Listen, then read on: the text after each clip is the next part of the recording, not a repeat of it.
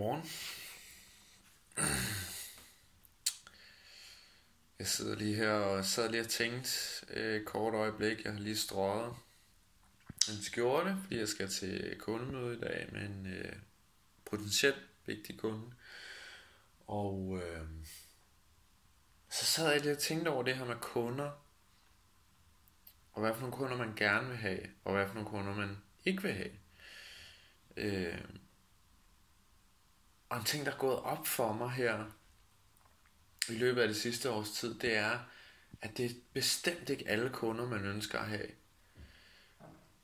Selvom de kan have brug for dit produkt, selvom de kan have de behov, som du dækker i din forretning, så er det ikke nødvendigvis sikkert, at du har lyst til at have dem som kunder i din forretning.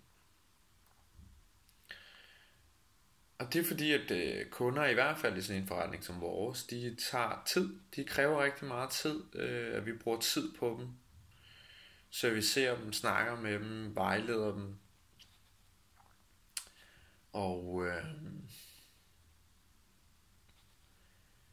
vi har faktisk halveret antallet af vores kunder. Hvis du kigger ind på Saxis.dk, så vil du se, at der i dag er lidt over 600 virksomheder til salg. For et års tid siden, der havde vi omkring 1200 virksomheder til salg. Og det er et helt bevidst, bevidst valg, vi har gjort. At vælge fra. Fordi dem, vi har fået valgt fra, det er dem, som aldrig rigtig fik solgt deres virksomhed alligevel. Og vi er blevet gode til at identificere, hvem de er. De folk, som ikke gider at gøre det arbejde, der ligger i at sælge sin virksomhed de folk, som når de får henvendelser fra købere, så svarer de ikke rigtigt på dem, eller hvis køberen laver en stavefejl i sin henvendelse, så tænker de, ej, det er ikke en seriøs person, den, øh, den gider ikke svare på, den der øh, besked, eller folk, som ikke har lavet et ordentligt øh, salgsmateriale, eller gider at lave det, eller gider at betale også for at lave det. Som tror, at køberen gider at sidde og rode rundt i alle deres øh, nussede og krøllede papirer, at de ikke skal fremstille tingene på en ordentlig måde. Som tror, at øh, deres virksomhed er fem gange mere værd, end den i virkeligheden er, og ikke vil lytte på en rigtig værdiansættelse fra nogen, der har forstand på, hvad virksomheder er værd.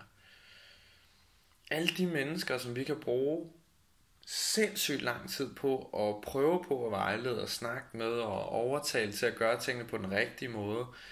Og så fordi de ikke gider at gøre tingene på den rigtige måde, eller betale for at få det gjort på den rigtige måde, så får de en dårlig oplevelse, fordi så får de ikke solgt deres virksomhed.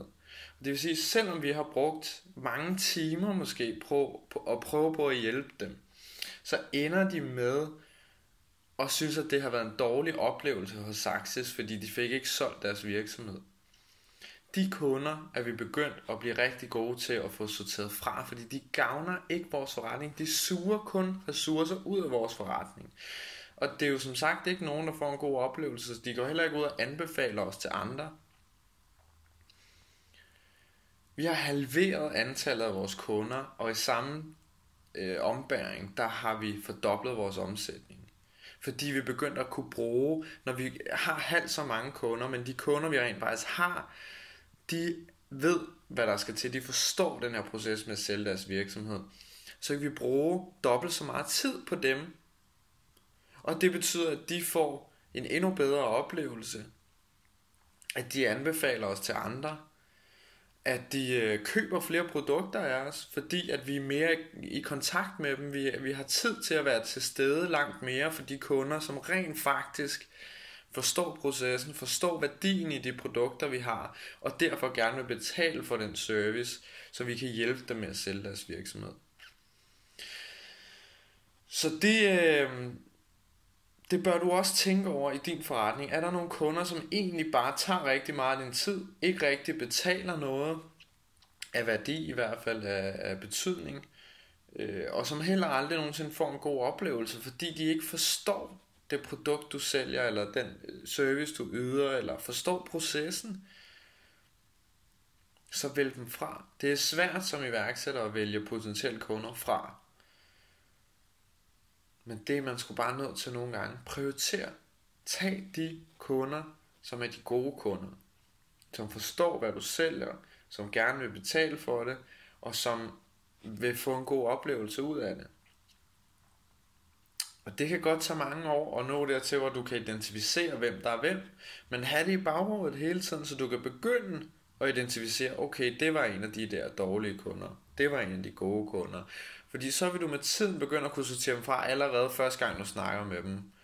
Og så bare vide, okay, det her det er nogen, som aldrig nogensinde bliver tilfredse. Med mindre at de får alting gratis, og vi bruger al vores tid på dem, på trods af, at de ikke betaler noget for noget som helst. Det var det. Godmorgen.